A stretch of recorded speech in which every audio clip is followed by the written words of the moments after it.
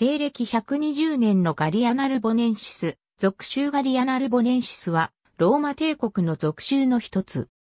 北東部にガリア・アクイタニア、北西部にガリア・ルグドゥネンシス、西方にヒスパニア・タラコネンシスの各属州と接していた。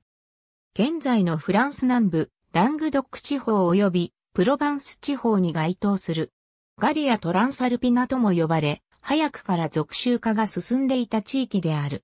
元老院に任命されたプロコンスルが統治する元老院属州であった。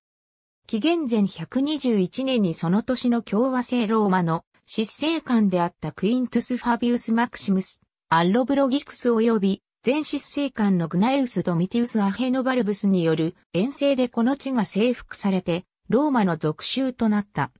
元々の名前はガリア・トランサルピナであり、アルプス山脈を越えないガリア人の住む地域、ガリア・キサルピナと区別されて名付けられた。ローマと隣接し、また、ヒスパニアとも隣接しているので、戦時は北のガリア人や西のイベリア人からの干渉国として最適な位置にあった。また平時でもローヌ川を介してのガリア人との交易拠点としても有望な地域でもあった。交易の拠点はマッスイリアにあった。この属州の州都はコロニア・ナルボ・マルティウスに置かれ、属州名も州都の名前にちなんでガリア・ナルボネンシスと名付けられた。イタリア本土と近いため多くの移民が移り住み、ローマ文化が深く浸透していた。ガイウス・プリニウス・セクンドゥスは、博物史の中で、ナルボネンシスの貴族や民衆は洗練された、ローマ人として振る舞っており、属州というよりはむしろイタリアであると評している。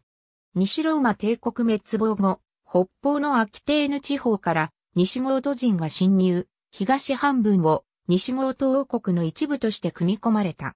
その後、フランク王国の支配下となり、ローヌ川を境に西部が西フランク王国、東部が中部フランク王国に分割される。以降、西半分は現在のラングドック、東半分はプロバンス地方に分かれていく。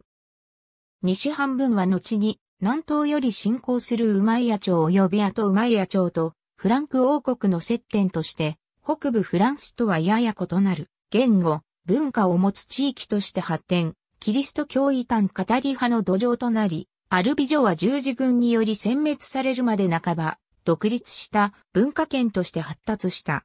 現在でもオック語を話す土地の意味のラングドックという名前からその名残が伺える。ありがとうございます。